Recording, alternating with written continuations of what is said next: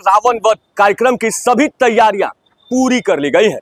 पटना जिलाधिकारी के साथ साथ पटना एसएसपी ने साफ़ किया है कि पटना के गांधी मैदान रावण वध कार्यक्रम देखने आने वाले लोग आँख बंद करके भी कार्यक्रम स्थल तक पहुँच सकते हैं।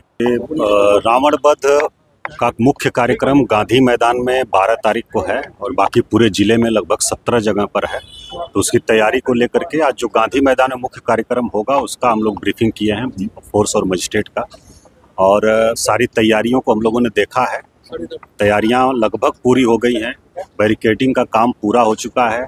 जो लाइटिंग का काम है वो भी हो गया है। उसका टेस्टिंग चल रही है। बाकी सीसीटीवी कैमरा हम लोगों के लगभग 128 सीसीटीवी कैमरा स्मार्ट सिटी से जो गांधी मैदान के अंदर बाहर लगे हैं, उससे शत प्रतिशत आच्छादित है। इसके अलावा हम लोग लोकली 50 सीसीटीवी कैमरा और लगा रहे हैं। जिधर लोग रहते हैं, उस पर निगरानी रखने के लिए। और बाकी पेयजल की व्यवस्था और मेडिकल टीम हमारी, फायर ब्रिगेड की टीम सब लोग पूरी तरह से अलर्ट है। और हम लोगों का प्रयास है कि जो लोग यहाँ आएँ वो सुविधाजनक ढंग से आएँ और आराम से वो जाएँ, किसी प्रकार की असुविधा नहीं हो। इसको लेकर के मुख्य जो एंट्री है हम लोगों की, वो गेट नंबर चार, पाँच, छः, सात, आठ और दस, बारह इस प्रकार के जो गेट हैं, इनसे एंट्री है। ज़्यादा प्रेशर जो रहता है हम लोगों का, वो चार नंबर गेट पर, सात नंबर गेट पर, दस नंबर और बारह नंबर गेट पर रहता है। यहाँ हम लोग विशेष व्यवस्था कर रहे हैं लोगों के फ्रिस्किंग के लिए। ज़्यादा डीएफएमडी वगैरह लगा रहे हैं ताकि लंबी लाइन नहीं लगे और आराम से फ्रिस्किंग हो जाए, जल्दी लोग प्रवेश कर जाए। और निकलते समय सभी गेट खुले रहेंगे। ताकि जिस दिशा में जिसको भी निकलना हो आराम से निकल सके कोई भीड़ नहीं हो। तो तैयारी हम लोगों की पूरी है और समिति के साथ भी हम लोग संपर्क में हैं और हम लोगों का प्रयास है कि बहुत ही अच्छे ढंग से कार्यक्रम संपन्न हो। मजिस्ट्रेट की भी सब तैनाती की गई है कितने हाँ मजिस्ट्रेट और पुलिस पदाधिकारी की पर्याप्त संख्या में तैनाती की गई है गांधी मैदान के अंदर और बाहर। और उन लोगों की ब्रीफिंग भी हम लोगों ने कर दिया है। सब लोग अलर्ट रहेंगे सबको कहा गया है कि समय से अपने अपने निर्धारित स्थल पर रहेंगे। और मुस्तैदी से अपने दायित्वों का निर्वहन करेंगे। आपात स्थिति से निपटने की व्यवस्था है हम लोगों के पास। पूरा हमारे क्यू है और इसके अलावा फायर ब्रिगेड की गाड़ी और हमारे मेडिकल टीम कई जगह पर हम लोग यहाँ मेडिकल कैंप अपना बना रहे हैं। लगभग 18 के आसपास एंबुलेंस हम लोगों की जो एडवांस एंबुलेंस है वो सब रहेंगी।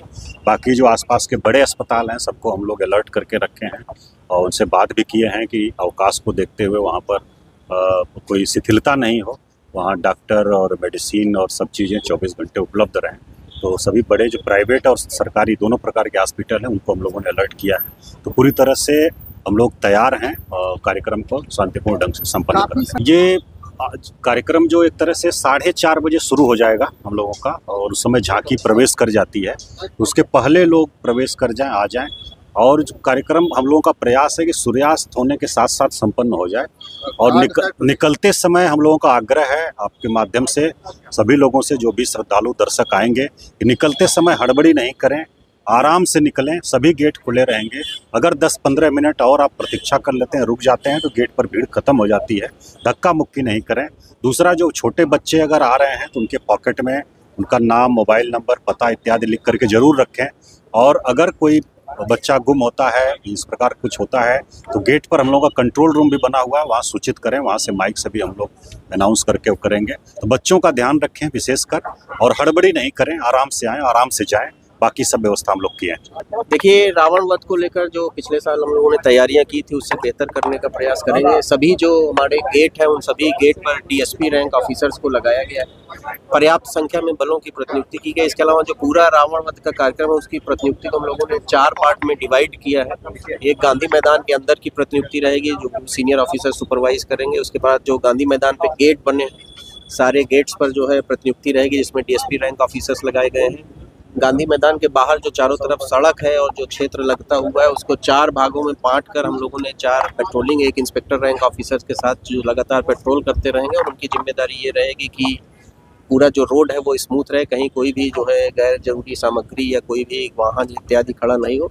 और इसके बाद जितने अप्रोच रोड हैं जो गांधी मैदान की तरफ़ आते हैं, चाहे आपकी बुद्धा कॉलोनी से जो अशोक राजपथ का रास्ता आता है पीर बहुत तरफ़ से जो अशोक राजपथ का रास्ता आता है एग्जीबिशन रोड चौराहे से एग्जीबिशन रोड आता है, गांधी मैदान के बगल से जो रास्ता आता है, गांधी मैदान थाना के बगल से तो जितने भी रास्ते आते हैं, उन रास्तों को भी हम लोग 200-300 मीटर तक क्लियर रखेंगे। ट्रैफ़िक प्लान हम लोगों ने उसी तरीके से बनाया है कि जिससे लोगों को आने में और कार्यक्रम समाप्त हो जाने के बाद बाहर निकलने में किसी प्रकार से समस्या नहीं हम लोग को पूरी तैयारी है हमारी, प्रशासन की, जिला प्रशासन की।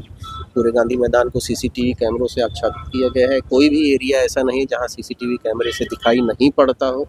रोशनी की भी पर्याप्त व्यवस्था की गई। हम लोगों ने ये मानक रखा है कि अगर कोई आँख बंद कर भी, आँख बंद करके भी गांधी मैदान के गेट से प्रवेश करे या निकलना चाहे तो उसको किसी प्रकार से कोई ठोकर इत्यादि नहीं लगे। इसी मानक के हिसाब से हम लोग तैयारी कर रहे हैं और 12 तारीख के पहले दोपहर बारह एक बजे तक हम लोग सारी तैयारियाँ पूरी कर लेंगे।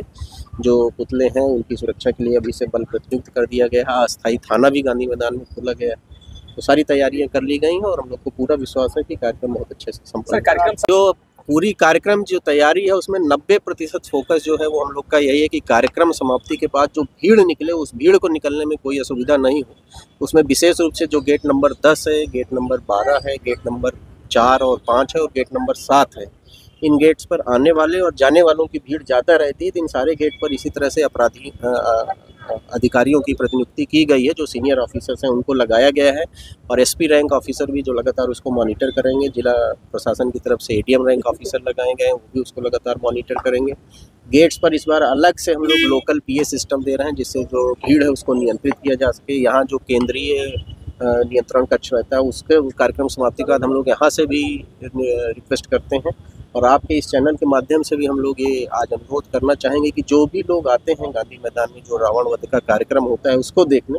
हमारा ये अनुरोध है कि जब कार्यक्रम समाप्त होता है, जब पुतले जला दिए जाते हैं, उसके बाद थोड़ी देर, आधे घंटे अगर गांधी मैदान में लोग रुक जाएँ, खासकर महिलाएँ जिनके साथ हैं, बच्चे जिनके साथ हैं अगर वो आधे घंटे रुक कर रुक रहेंगे तो जो निकलने में जो भागम भाग होती है या जो स्थिति जो है गंभीर हो जाती है, काफ़ी भीड़ हो जाती है गेट्स पे उसको अवॉइड किया जा सकता है और सबकी सुरक्षा में रहेगा। तो आप लोगों से भी और आप लोगों के माध्यम से जो पटना के रहने वाले लोग हैं, पटना में जो गांधी, ये गांधी मैदान में आते हैं वध के कार्यक्रम में हमारे ये अपील होगा, ये रिक्वेस्ट होगा, जब कार्यक्रम में आए तो निकलते समय आधे घंटे चालीस मिनट मैदान में रुक जाएँ गेट्स को इजी हो जाने दें गेट पे जो भीड़ भाड़ है उसको कम होने जाए हो जाने दें उसके बाद निकलेंगे तो सारा कार्यक्रम बहुत अच्छे से संपन्न हो काफ़ी लोग वाहन से भी हैं। वाहनों के लिए ट्रैफ़िक का जो प्लान है वो अलग से दे दिया गया है गांधी मैदान के चारों तरफ़ और गांधी मैदान के जो अप्रोच रोड है वहाँ वाहनों के प्रवेश पर रोक लगाई गई है। केवल जो पास युक्त वाहन है उन्हीं को प्रवेश की अनुमति दी जाएगी। उसमें भी बहुत कम संख्या में हम लोग पास इशू कर रहे हैं जो बहुत ही ज़रूरी सेवाएँ हैं। उन्हीं को हम लोग पास दे रहे हैं। इसके अलावा किसी प्रकार से कोई पास निर्गत नहीं दिया जा रहा है। तो ये भी आपके माध्यम से कहेंगे कि जो निर्धारित जगह है, उसके पूर्व ही पार्किंग की जो जगह निर्धारित है, वहाँ खड़ा करें वाहन। अनावश्यक जो लोग पोस्ट पर लगे हैं, उनसे बहस करने या उलझने की ज़रूरत नहीं है। व्यवस्था सबके लिए बनाई गई है और उस व्यवस्था का अनुपालन करें। इसलिए हमने आपको पहले बताया कि गांधी मैदान के अंदर का जो कार्यक्रम है, हम लोगों ने जो पूरा कार्यक्रम बनाया, जो प्रतिनियुक्ति की है, उसको चार भागों से, अंदर के लिए भी अलग से प्रतिनियुक्ति की गई तो उसमें भीड़ पर नज़र रखने के लिए भी प्रतिनियुक्ति की गई है। कोई अवांछनीय तत्व या इस तरह के लोग अंदर नहीं आने पाए, उन पर नज़र रखी जा सके। भीड़ में जो हमारे पुलिसकर्मी हैं, उनको सादे निवास में भी प्रतिनियुक्त किया जाएगा, जो इस तरह के लोगों पर नज़र रखेंगे। हम लोग सारी तरह की जो समस्याएँ आती हैं, भीड़ प्रबंधन में और इस तरह के कार्यक्रम में, उनको ध्यान में रखते हैं।